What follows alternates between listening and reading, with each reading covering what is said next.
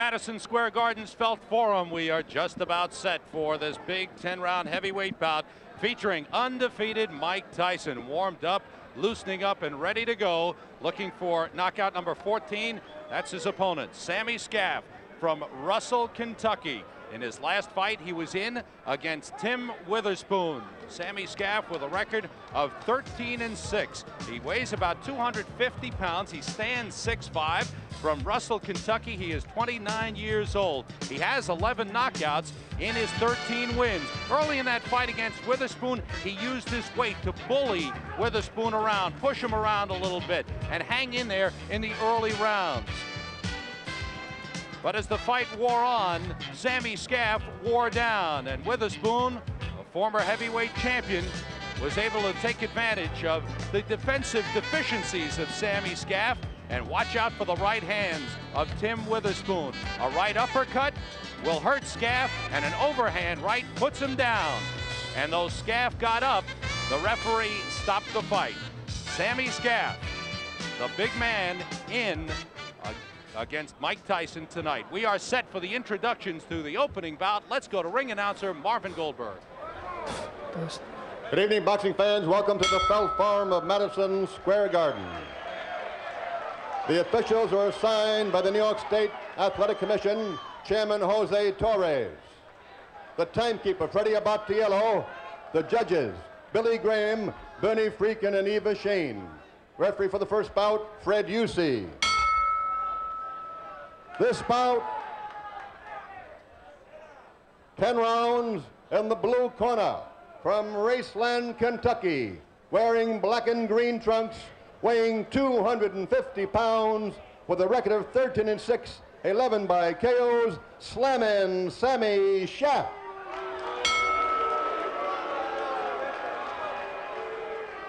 And in the red corner, from Catskill, New York, wearing black trunks, weighing 215 with a record of 13 and 0, 13 by knockout, Mike Tyson, 10 rounds. Kevin Rooney in his corner.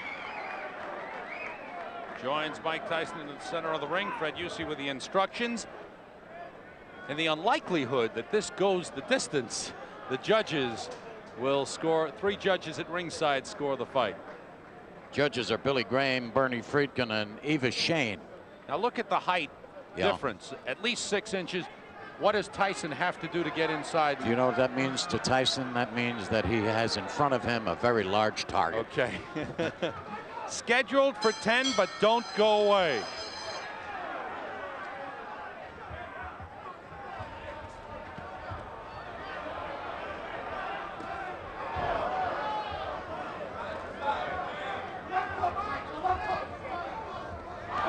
already coming in, got in a short left hook. There's the big left hook, and that rocked Sammy yeah, Scaff sure early. Did. It sure did. He's a right hand. He's he's going to work. Wobbly. He's taking his time. He's pinpointing his punches. He's not uh, he's not over anxious. That's the first punch he's missed so far. Look at the legs. Look at where the power comes from yeah. when he bends and, and gets his body into those punches. You got to watch this one real close. Blood coming from the nose of Sammy Scaff already. A big left hook got in there. He might have broken his nose That's already. right. That's right. It looks bad. Scaff is on the run. Blood just pouring down from the nose of Sammy Scaff. Tyson does not throw wild punches, Sam. That's big uh, left hook. Left hook. And there is Scaff down. down. Three, four. The count is five. For the rest of the evening. Six. The count seven, is seven. This eight, one's over. Nine. This one is over. It's all over. He tried to make it. Sammy Scaff tried to get up. His nose oh is cut. Look at the side oh of his oh, nose my. there. He's uh, breathing and nose is just pouring out. I, I got to believe he broke his nose with one of those I left think hooks. there might even be a tear on the side of that nose. Wow. Well, he gave everybody what they expected. He didn't keep them long, I'll tell you that, Sam. Everybody who came early, our first fight of the evening is the Tyson fight, and he didn't keep them very long. Here's Jose Torres, the New York State Boxing Commission chairman, and another Cus D'Amato protege, and certainly there's got to be some strong feeling inside uh, from Jose Torres about the performance of Mike Tyson. Mike Tyson, very calm. and showing some concern going over to the corner of Sammy Scaff to make sure he's okay and asking the doctor if he's okay. But watch the power. Watch the left hook rock Sammy Scaff here. Bingo. And what you said is right. Those punches are short and powerful. Right. He went down in sections. Uh, he tried to get up. He struggled trying to get up, but there was no, really no need for it. He couldn't continue. He was completely defenseless.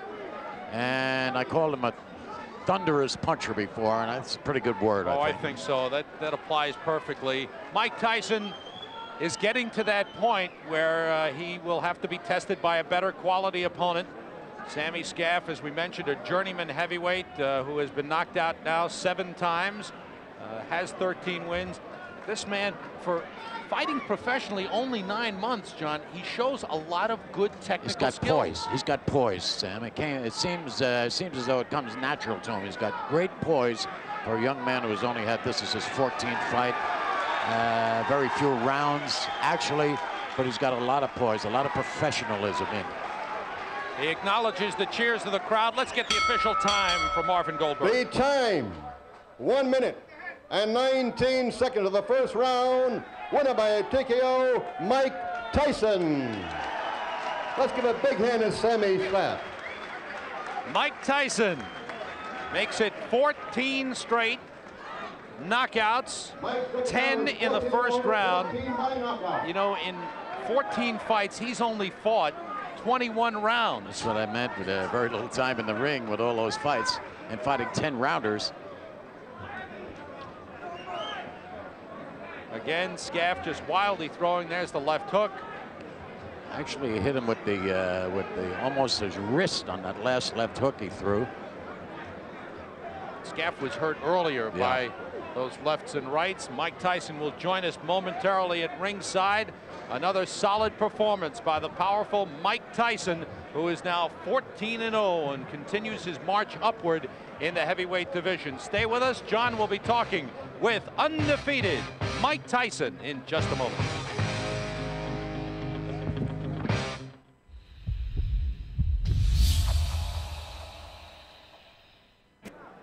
Welcome back to Madison Square Garden's Felt Forum, where you're seeing a man move toward a tremendous goal, the heavyweight championship. Mike Tyson, he's the up-and-coming star of the heavyweight division. He's with John Condon right now. Let's go to John. Mike, you didn't keep us very long, or you didn't keep a lot of the folks that came to see you very long. There are a lot of people who say that uh, you are ready right now to fight anybody in the top 10. How do you feel about that? I feel the same also. But the problem is, I, I only been fighting nine months, and I'm only 19 years old. I'm fighting now. Someone nine fighting only nine months and 19 years old. Now they want me to fight for the title. They want me to fight a contender. That's absurd in boxing business. Uh -huh. That's just absurd. Yeah, but you're not the you're not the usual heavyweight. You're an unusual heavyweight.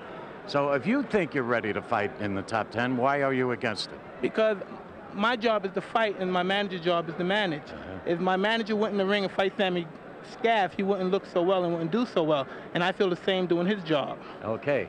Now let's say let's say that uh, tomorrow morning, uh, your manager said I have a world title fight for you. There are three champions: Michael Spinks, Tony Tubbs, and Pinklon Thomas. Of the three, which would you rather fight? I fight anyone my manager chooses for me to fight uh -huh. because if he feels confident I could beat him, I feel confident I could beat him also. Mike, you seem to have a good time. Do you enjoy boxing? Uh, do you do you yeah, think about it all the time? You have to love it to be the best at it. You have to love the sport. Mm -hmm. Anyone that's just in there to go for the money, it's good to be successful and have financial status. But if you only go in there for the money, you can only reach a, a certain status.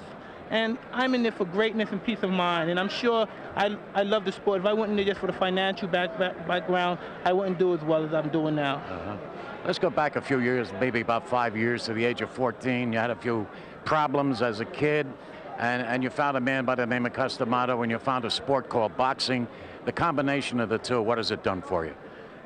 Oh, achieved my character, personality, 400, 500% as a human being, besides the boxing aspect. Right now, I could quit boxing now and practically go into any kind of business, and I'll be successful just as well as I was in boxing. Uh-huh. And boxing did all that for you, and yes. Cus D'Amato, huh? Yes, sir. Uh-huh. What uh, what's at the end of the rainbow besides the world heavyweight title? Have you got something else in mind? Uh... Well, I take only one step at a time. You're asking the wrong person. My only concern is boxing now. And as for at the end of the rainbow, I have to see what my occupation consists of. Uh-huh. I see. Give, it, longevity. give me just uh, a little idea. What is a, the- a day in the life of Mike Tyson? Mike Tyson is just a hardworking fighter that lives a boring life as an individual. And everyone says, I wish I was in your shoe, I wish I was in your shoe. The people, the hundreds of people that wish they were in my shoe don't know the That's tenth right. of it. If they were in my shoe, they would cry like babies. That's the They couldn't handle That's it. That's true in almost every profession, Mike. Good luck to you. Thanks very much. Congratulations. very much. Keep going. Good to see you. Back to Sam Rosen. Thank you, John. Well, maybe he doesn't live an exciting life outside the ring, but inside it's full of excitement. Mike Tyson, another first round knockout at 119 of the first round. He stopped Sammy Scaff, and Tyson is now 14 0 with 10 first round knockouts. More boxing is coming up.